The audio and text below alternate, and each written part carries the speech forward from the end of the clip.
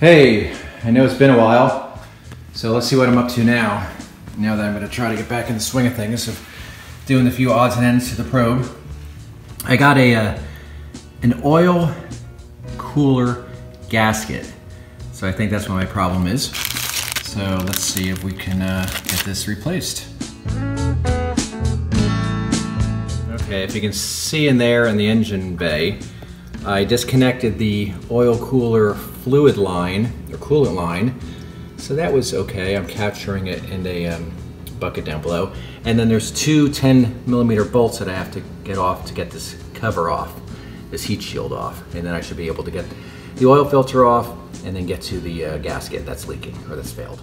Okay, I just got the oil filter off and now I have to take this one bolt off and um, it should so I'll just put that in there take that one bolt off and then the oil cooler should be able to come out.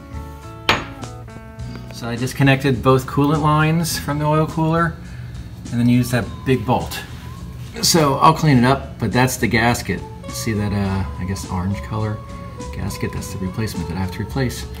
That's what's been leaking for years and why why the um, oil filter always had drips coming off the bottom of it.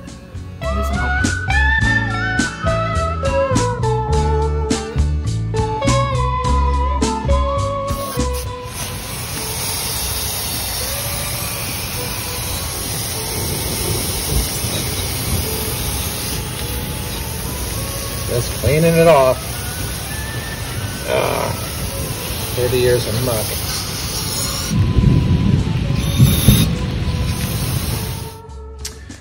Well, got some bad news.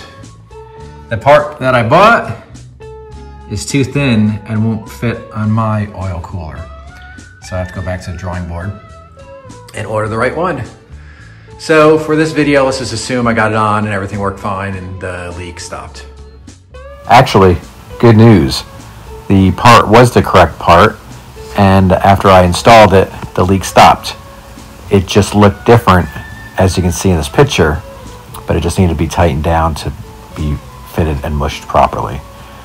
So the leak stopped. The car did start overheating the first time I started up, so I had to add coolant to the top filler cap. First time I ever had to do that. But right now everything's working good.